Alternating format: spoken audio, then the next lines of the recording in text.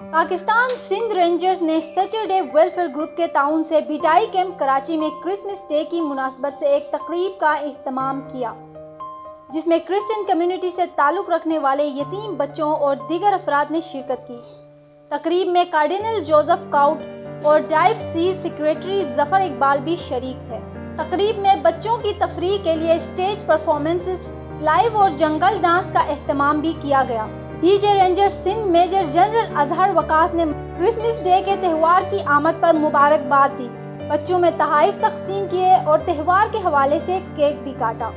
DG ranger Singh ने इस मौका पर कहा कि क्रिसमस त्यौहार पर मैं तमाम मसीही बरदरी को दिल की गहराइयों से मुबारकबाद पेश करता हूँ।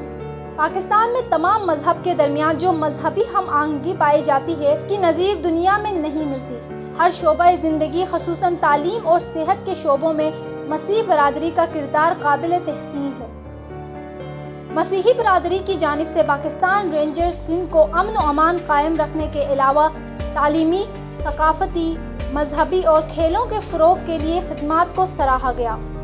उन्होंने क्रिसमस के मौके पर सिंध रेंजर्स की जानब से सिक्योरिटी इकदाम पर इतमान का इजहार किया और इस अज़म का अदा किया कि क्रिश्चियन कम्युनिटी मुल्क में और कराची में ख़ास तौर पर अपना मुस्बित किरदार अदा करती रहेगी। बानी पाकिस्तान कायद आज़म मोहम्मद अली जना की योम विलादत की मुनासबत से D G ranger Sindh major general Azhar Waqas की कायद आज़म मोहम्मद अली जना के मज़ार पर हाजिरी।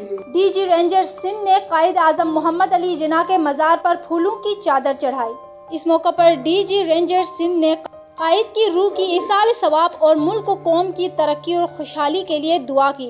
वॉन कराची की वीडियोस देखने के लिए हमारा चैनल सब्सक्राइब कीजिए और बेल के आइकन को क्लिक कीजिए, ताकि आप हमारी तमाम आने वाली वीडियो से बाखबर रह सकें।